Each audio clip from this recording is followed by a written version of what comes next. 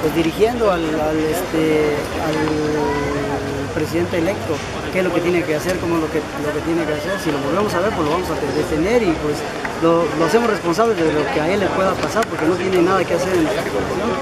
Entonces, ¿Él ha estado sí, yendo él a está- la población? sí, aparte de estar en la mesa de diálogo, se presta como asesor jurídico, no sé, de, los otros, de las otras personas.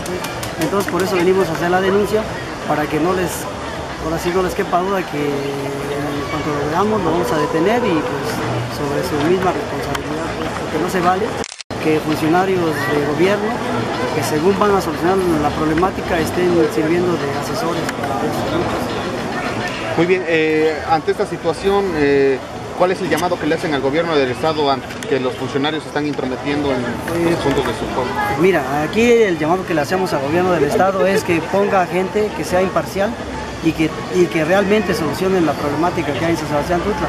El 6 de enero nos fueron a balasear en el Palacio Municipal, ya de eso tiene conocimiento el MP de Santa Cruz a Milpas y pues no se vale pues de que no, no hagan nada para solucionar este problema.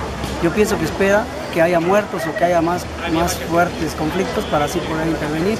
Ahora ponen a esta persona y en lugar de, de- de solucionar, pues la están empeorando, está empeorando la situación. Este, este señor. Eh, en sí, ¿cuál es el problema de este municipio que existe real?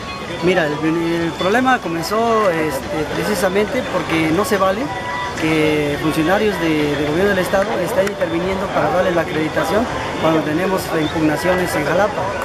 Otra de las cosas también que quedamos en que mientras no se solucionen esos problemas, pues se sigue, sigue el diálogo para llegar a una negociación.